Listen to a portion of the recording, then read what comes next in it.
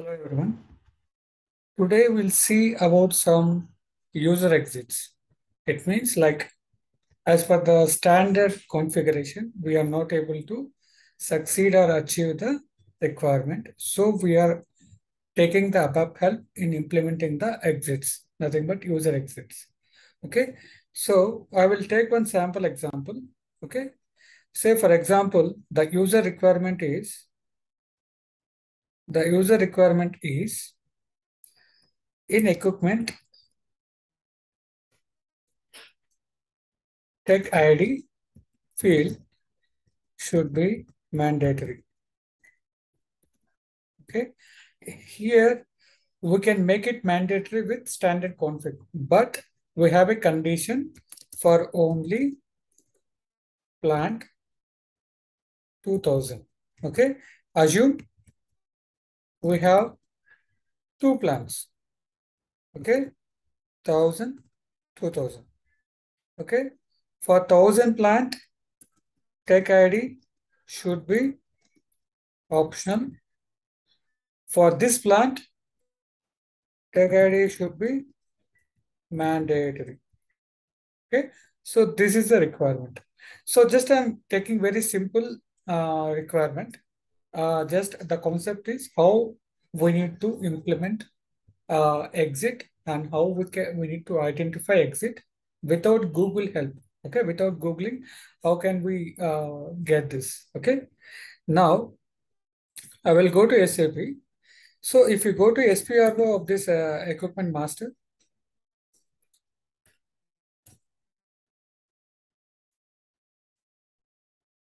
master data tech objects in equipment. So here you can see define field selections for equipment master record. Okay. Here you need to see equipment specific fields. Okay. Tech ID is related to equipment specific. So if you go to the bottom, you can see here tech identification number. Okay. Here there is a option directly you can take it mandatory. When when it is mandatory for both the plans then you can directly check this button and save and generate a TR, transport request. But the requirement is different. So we'll, we, we, can, we have an option to check in influencing fields. If you click on influencing, here there are some options like you can make the field mandatory with respect to category, with respect to object type, with, re with respect to reference category and activity category. Here, we don't find a plant-specific influencing field. That is the reason we are taking the ABAP help and writing the condition in the exit. Okay. Before that, we go to the equipment master IE01. Okay. Click enter. Test for exit. Okay. Now, here I want to make this mandatory. So this is the tech ID number. Okay. So to find the exit for this transaction, go to system and click on the status.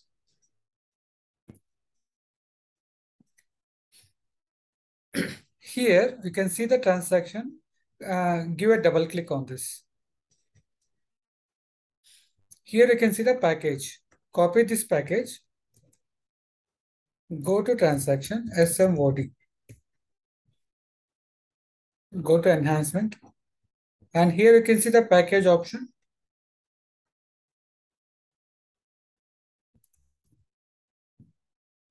Star, enter. Now you can see the list of exits. Okay. Here you can see IEQM 001. You can see the description also very clearly it is written. Additional check for equipment installation at function location. Okay, it is not required for us. Additional check for definition of equipment hierarchy additional check for equipment update. So this will be our exit. So equipment update means equipment updating in the SAP, uh, either at a new one or existing one. So that can be called as an update.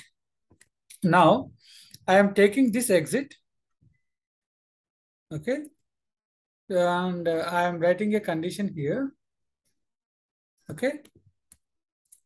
Use exit. okay in transaction IE01 or IE02. Here you need to mention both the transactions because when they enter with IE01 and they maintain the technical identification number and save it, again they can enter in the same equipment number in IE02 and they can remove the tech ID number. So these are the chances. So we need to maintain in both the transactions, change and create. Why we are maintaining, I explained, right? Yeah. In transaction IE01, IE02, field tech ID should be mandatory for plant 2000. So this is a requirement, but ABAPers required it in a technical way, not a in text way. Okay. So here we need to maintain tech ID in a technical form. Okay. You can see, go back one step. Go back another. Here you can click on F1 and click on technical identification. You can see tech ID number, TIDNR. So here field TIDNR should be mandatory for plant. What is a plant? What is a plant? Go to F1. This will be S work. Okay. For plan S work. Okay.